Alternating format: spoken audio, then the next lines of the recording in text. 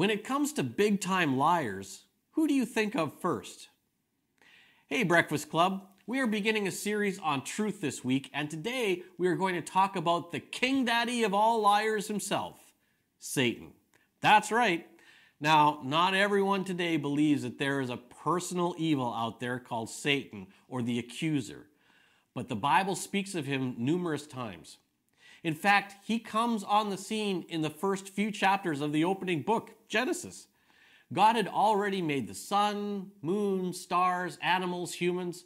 All was going well until the person Jesus called the father of lies, or Papa Liar, as I like to call him, shows up. Now, God had already told Adam not to eat from the tree of knowledge of good and evil. Satan is pictured as a serpent in the story. We read, One day he asked the woman, Did God really say you must not eat from the fruit from any of the trees in the garden? Now, God said no such thing, and Satan knew that, and Eve knew that.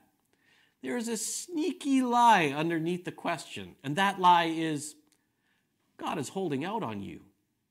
He doesn't want the best for you. He's being restrictive, repressive, controlling. Back to the story. Of course, Eve said, we may eat fruit from the trees in the garden. It's only the fruit from the tree in the middle of the garden that we are not allowed to eat. God said, You must not eat it or even touch it. If you do, you will die. Now, God said no such thing. So Satan has already gotten Eve to move from not eating from the tree to not touching it at all, more restrictive. You won't die, the serpent replied to the woman. God knows that your eyes will be opened as soon as you eat it, and you will be like God, knowing both good and evil. God is controlling. God is pushing you down. He doesn't want the best for you. He wants to take away your joy and stuff your potential. Does this all sound familiar? All of us have heard these lies, considered these lies, and even believed these lies all of us. However, the fact remains that Satan can't make us do anything. He only has the power to do what God allows, but he lies constantly. Followers of Jesus are susceptible to his other lies as well.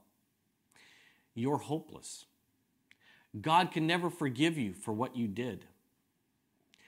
You're probably the worst person around you are too far gone.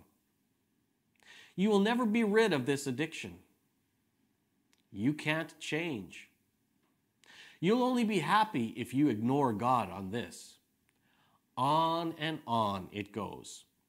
You and I, if you're a follower of Jesus, are in a battle for the truth, and we know it. If you are not a follower of Jesus, and I'm glad you're here, you are in a battle for truth, and you might think you actually haven't won.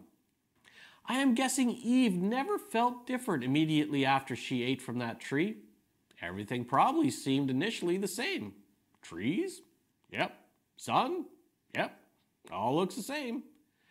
Many people think that disobeying God has zero consequences, but get beyond the immediate and the long term effects are disastrous, as Eve quickly found out. The truth is, God does want the best for you, and His Word is His message to you in how to get the best life, running counter to Papa Liar. Breakfast Club, be aware of the lies that are playing in your head that are not biblical. They may be coming from a very dark source. Let's pray. Our Father, thank you that you have given us the truth in your word.